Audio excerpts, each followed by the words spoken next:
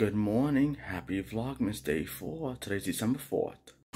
We're in WinCo, the grocery store, to get some groceries. Here's some Christmas items at the grocery store.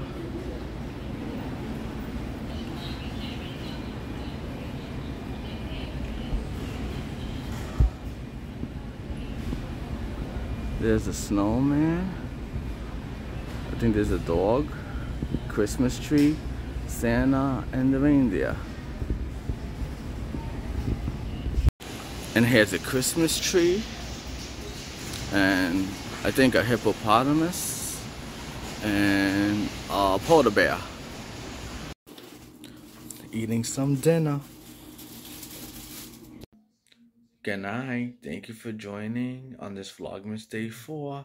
Give this video a thumbs up and we will see you tomorrow for Vlogmas Day 5. Happy Vlogmas!